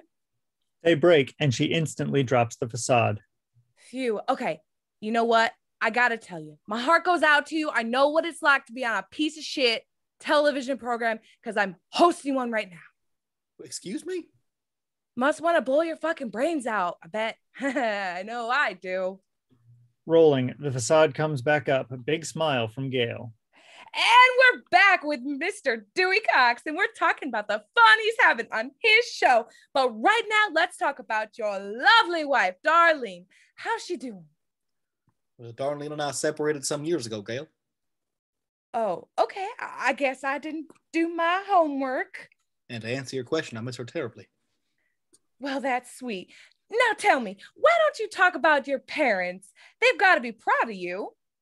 Well, my mama is dead, and uh, my pa and I uh, don't speak to each other, so we're not very close. We can always cut around this if it gets too pathetic. I know you got a whole slew of them. Uh, what's going on with them? Tell us about Well- your kids. Well, I'm uh, locked in a custody battle at this time. Uh, custody is trying to be forced upon me, which I don't think is right. You know, if you don't uh, want the responsibility of children, you should be able to walk away from that. And apparently, a couple of my ex-wives don't feel the same. So, uh, yeah, but uh, but wherever my kids are, I'm sure they're watching the Dewey Cox Show on Thursday nights at eight, right after the local news. And uh, I just wanted to say to everyone out there, I'm no longer mainlining acid or smoking PCP. It's official. Um, okay.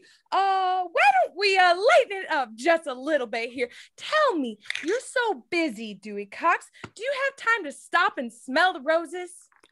I've got no fucking sense of smell. All right, I'm done. Dewey gets up and walks out of the interview. I mean, come on, do a little research, folks. Come on. That would have been great information to know. Yeah. Interior Dewey's beach house that night. Dewey walks through the kitchen in his undies. He opens the fridge and thinks for a moment. Yeah. Dewey grabs a whole bottle of champagne. He closes the door on the fridge, and there stands Ghost Nate. Dewey, Nate! you were supposed to be double great for the both of us. What the fuck is this bullshit? Ah, no. All I'm asking is that you write one masterpiece that is the culmination of your entire life. How hard is that? I'm empty, Nate. What do I do? Dewey, who's the one person in your life who's made you feel like shit? Oh, You need to talk to him, Dewey. oh, I don't know. You need to hug him. I've been putting this off my entire life. You're right. Interior Cox Farm. Later, Pa Cox tosses bags of seed, singing to himself. Wrong kid died. Boom, boom, boom, boom, boom. Dewey slowly enters. Hello, Pa. Pa looks up before dropping his bag of feed.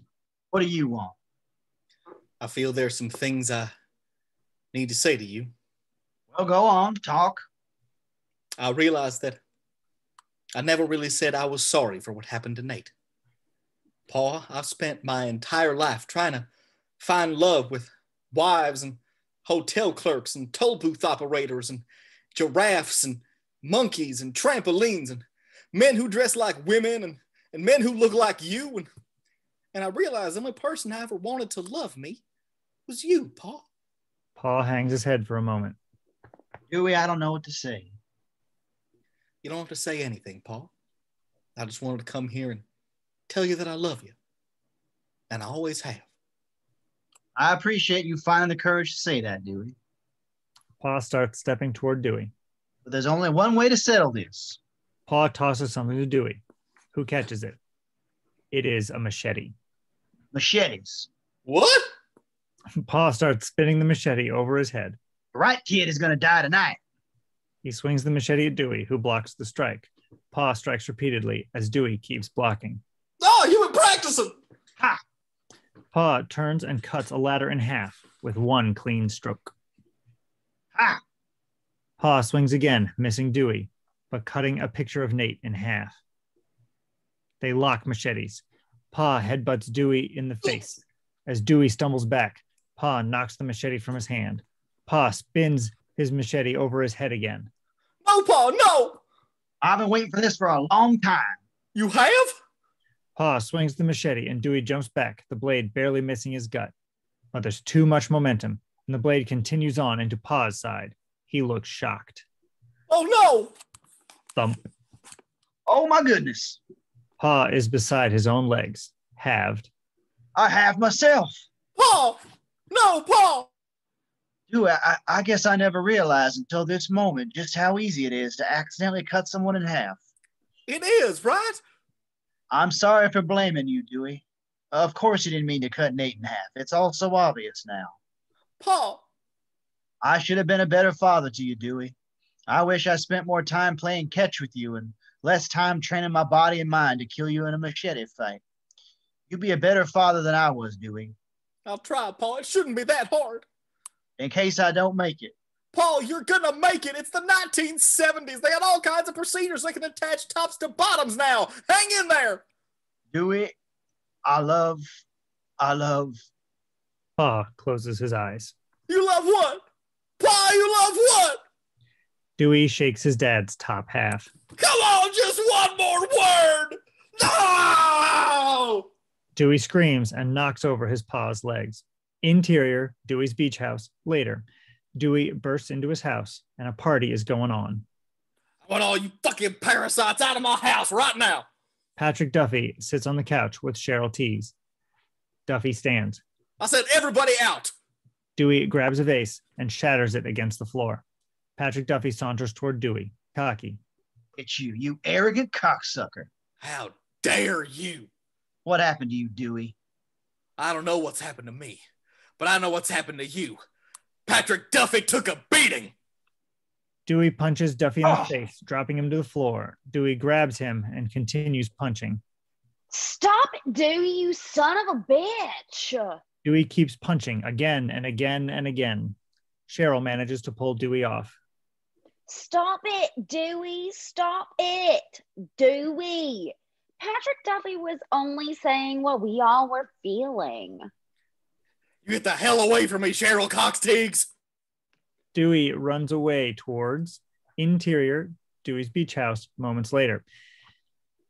The bathroom. Oh no, not the sink, not the sink. Dewey tears into the room and stops at the sink. If you tear that sink off the wall, I am leaving you. Oh, yeah?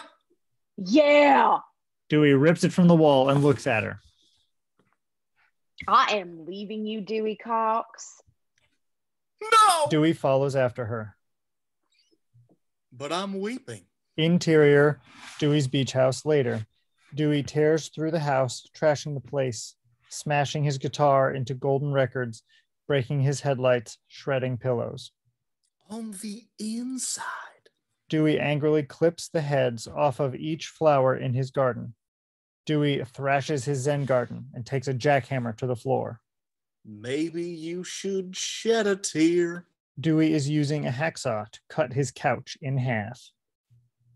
Interior Dewey's beach house later. Dewey is still sawing.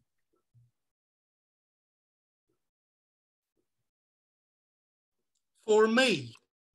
Dewey opens the silverware drawer and starts pulling out each piece of cutlery and starts bending them one by one, eventually looking more annoyed that he has to finish all of them instead of just stopping. Interior, Dewey Beach House. The next morning, Dewey sits in the ruins of his living room, crying. A young boy walks up to the uh, open patio door. Dad, Dewey turns to face the boy. Yes? What is it, son? I was just wondering if you want to have a catch. The boy Okay. nods. Son, there is nothing I want more than to have a catch with you. Son, forgive me, this is going to sound strange, but what is your name again? Well, I'm Dewey Jr., but my friends call me Dewdrop. Well, Dewey sniffles and stands. it's nice to formally meet you. Dewey Dewdrop. shakes the boy's hand. Exterior Dewey's beach house. Later, Dewey and Dewdrop toss a ball back and forth. So this is catch. This is what I've been missing out on all those years on the road. huh? Dewdrop can't seem to catch the ball. I like it. It's wonderful. You throw it to me, I, I throw it back to you. It's so simple and yet So powerful. Drop drops the ball again. Maybe that's his nickname because he drops everything. I'll go home. Boy, you're really terrible at this game. Well, I mean, you never really played with me before. How am I supposed to learn? A boy needs a dad. Yes, he does. Well, I reckon we got some lost time to make up, you and me. And all your brothers and sisters, too. How many of you are there now? Uh,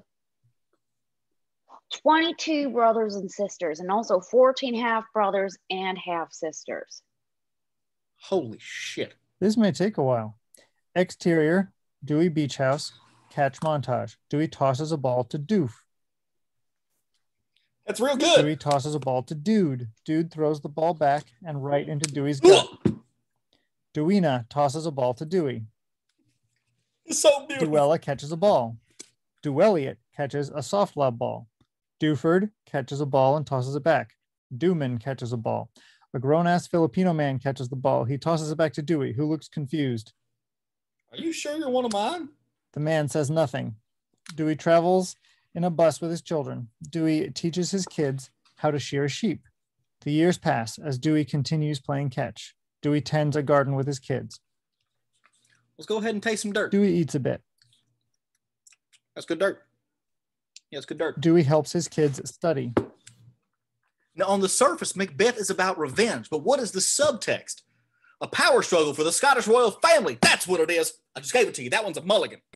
Exterior park years later. Dewick catches a ball and tosses it to Dewey, who misses the catch. Dewey goes chasing down the ball. The ball rolls to a stop at the feet of Darlene, who has aged beautifully. Hello, Dewey. Darlene. It's Deweyna's birthday. I brought her a present. She holds a long clothing box under her arm. It's a bracelet. How's Glen Campbell? He and I split up a long time ago. Oh, really? It's just me these days, at age 50. Would you care to take a walk with me, Darlene Madison? She smiles. Exterior park walking path. Dewey and Darlene walk together. Well, I haven't been playing too much music the last few years. I realize now I wasn't much of a father when I was out on the road. Now, this is what makes me happy. Not the music, not getting high, just my family. It's all I care about. And that family is missing one piece, Darlene. My God, you're as beautiful as the day I met you. They move closer to kiss. You don't want this dirty old cox. Oh, I want it more than ever. She hugs him tightly as Dewey breathes deep. Did you wash your hair today? I sure did. How could you tell? It smells terrific. A beat. Wait. What? I smelt it. You mean? I smelt it. Yeah? Oh, I can smell it again. I smelt it. Dewey buries his nose in her neck, smelling deep. I smell you. smell it. Oh, you've been driving a while. Oh, I smell it. I smelt it. Dewey dra- dives into the grass. Oh, I smelt it. Oh, God. It's a miracle. I smell you flowers. I smell you twig. I smell you horse shit. He lifts a huge turd and takes a big whiff. Oh, it's horrible. But I can smell it. Smell that shit, baby. I smell it. Interior, Dewey's land later. Dewey, silver haired now, smells a flower. Anyway, that's when I learned that quaaludes and water skiing do not mix. He pats the shoulder of a boy next to him. You remember that? How come you did all that stuff, Grandpa? Oh, well, well, Dewey Rahim, I'll tell you, I was young and stupid then. I didn't understand a lot of things. I didn't understand that. uh, I think it had to do with how I was reared as a boy. But, you know, I got no complaints. It's been a beautiful ride. Beautiful ride. Inspiration. beautiful ride. Dewey, sweetheart, there's someone here to see you. Dewey turns to the porch to see Dreidel L'chaim Wolowitz standing there. Mr. Cox, I'm sorry, have we met? you worked with my father, Kvetch L'chaim. You're Mr. L'Chaim's boy? Dreidel L'chaim, that's me. Well, it's nice to meet you again, Dreidel Laheim. Well, listen, Mr. Cox, there's there's something I want to show you. Interior Dewey's land, living room, moments later.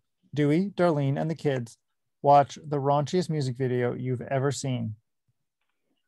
I never rock a fella, but I rock a Cinderella while it's sitting in between of her le- legs like a cello. Dewey puts on his glasses. Time to play, make your mouth into a hole, yo, to me how. I want to make you fucking.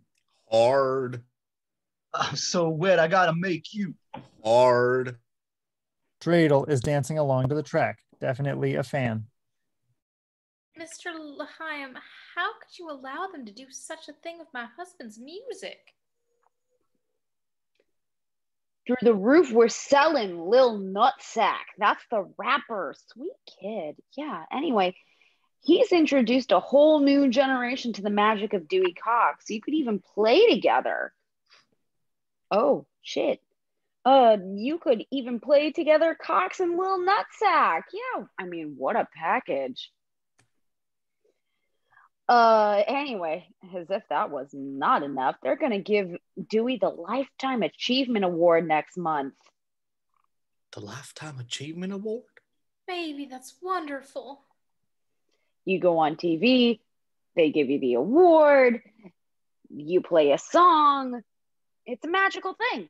Whoa, oh, I, I- I can't go on TV and play. What? Why not?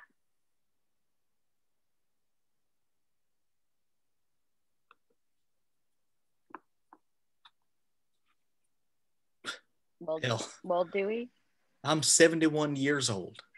I don't even know if I can rock no more. Of course you can rock, sweetheart. of course you can rock, sweetheart. Well, I don't know that I can rock. And besides that, I gave up that life for a reason. I'm afraid of the temptations, Darlene. You can do it, Dewey. I know you can. Just go out there and sing your song. I'm going to need my band. Various band retrieval montage. As Walk Hard plays, Dewey collects the band. Dewey walks up to a trailer. The door opens and out walks Dave. Dewey nods. Dave punches him in the face. Dewey falls to the ground. Oh, my hip. Dave helps Dewey back up. A door to an apartment opens, and there stands Theo, who instantly jumps into a hug with Dewey. The door to Sam's house opens. Dewey holds up a massive bag of weed. Sam happily takes the bag and gives Dewey a hug, never taking his eyes off the weed. The aged band walks down the street. Ladies and gentlemen, please welcome Jewel, Lyle Lovett, and Jackson Brown. Interior Music Awards on stage. The three stands the three stand at the mic performing. Walk hard. Hard. Down life's rocky road. Rocky road, walk bold. Hard. That's my creed, my My code. code. Interior Music Awards backstage. Dewey walks through the hall. Hi. Hey there. Hello. Oh, he is so cute. What are you doing later? I'm returning to the hotel with my family. Good night to you. Dewey leaves. Talk to my grandma. That's awesome. Interior Music Awards on stage. Ghostface Killah. Walking hard, I'm a real hard walker. Fast on the trigger and I'm, I'm a smooth talker. My guns pop out like a jack in the box. I'll cut you in the half like Dewey Cox. Work hard. Interior Music Awards backstage. Dewey opens a door to find Sam. Oh no, you're adorable. Sam, Sam turns around, surrounded by women. What are y'all doing in here? Dewey, get out of here. You don't want no part of this shit. Sam holds a small blue pill in his hand. What is it? It's medication for erectile dysfunction. It gives you a boner, not to be used if you have pre-existing heart condition. If boners last for more than four hours, call more ladies. Sam chuckles. Well, that does sound tempting. But you know what, Sam? I really don't want no part of that shit. Did you hear what I said? It gives you a boner. Hate to let you down, old friend, but I don't want to succumb to the temptations. Interior Music Awards backstage hallway. My girl, my girl, my girl, I'm talking about my girl, my girl. All the temptations! Dewey hobbles down a hallway. Interior Music Awards on stage. Whew, all right. Well, we heard him sing about walking hard. We learned a little something about how we wanted to walk. What do we think about when we think about Cox? He's been called the drifter, also the shapeshifter, master chef, chameleon, problem child, the hard one, the white Indian, the giant midget, if Elvis and Buddy Holly are Cain and Abel of rock and roll, and Bruce Springsteen is Zachariah, Iggy Pop is Methuselah, and of course Neil Young is the wise prophet Ezekiel, then what does that make Dewey Cox? Well, I don't know what God. Interior Music Awards backstage hallway. We are back where we began. Um, Mr. Cox, I don't want to rush him, but he goes on in a minute. Interior Music Awards stage. Ladies and gentlemen, it is my great honor to introduce for the first time on stage 25 years performing his final masterpiece that will sum up his entire life.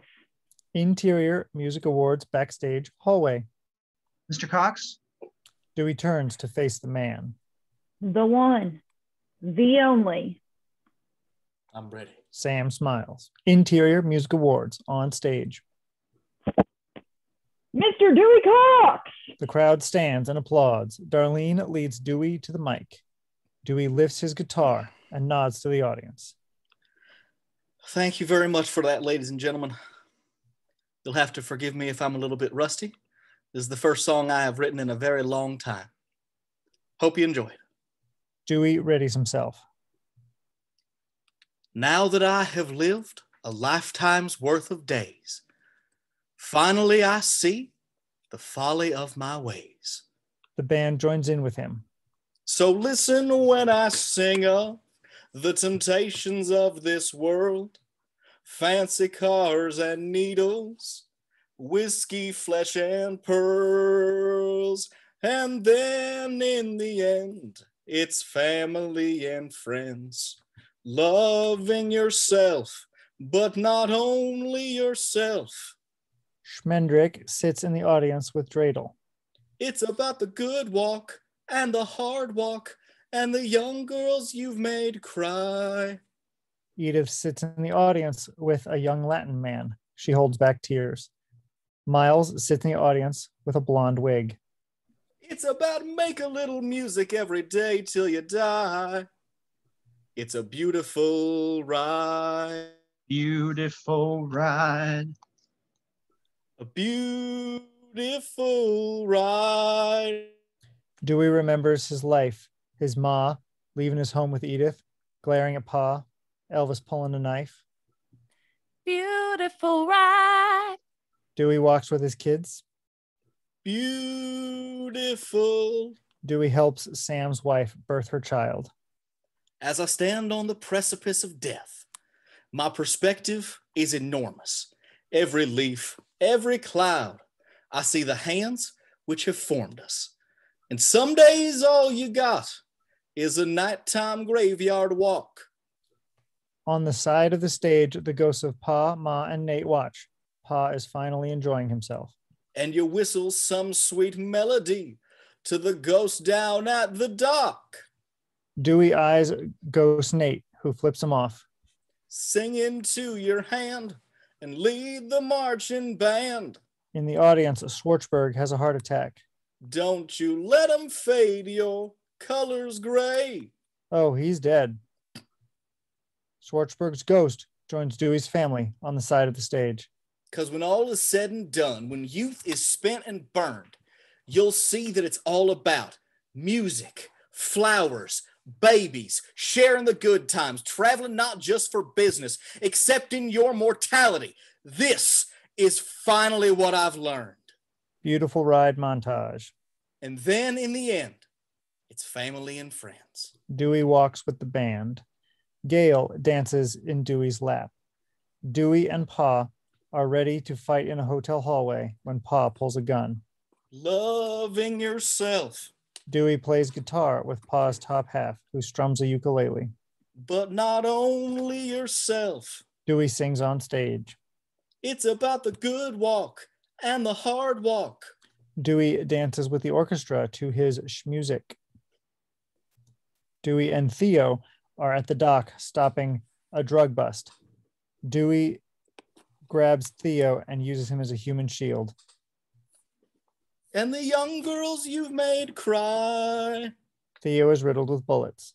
It's about make a little music every day till you die. Theo stands on stage next to Dewey, definitely still alive. It's a beautiful ride. A beautiful ride. Beautiful ride. Dewey enters a bathroom and sees a line of sinks. He's gonna wreck it and the internet. Dewey tears them all off the wall. beautiful. Sorry, that's a dumb joke. Uh, beautiful ride. Dewey laughs with Dave and Bert, his roadie, his dick still out. Beautiful ride. Dewey thinks back to his first performance.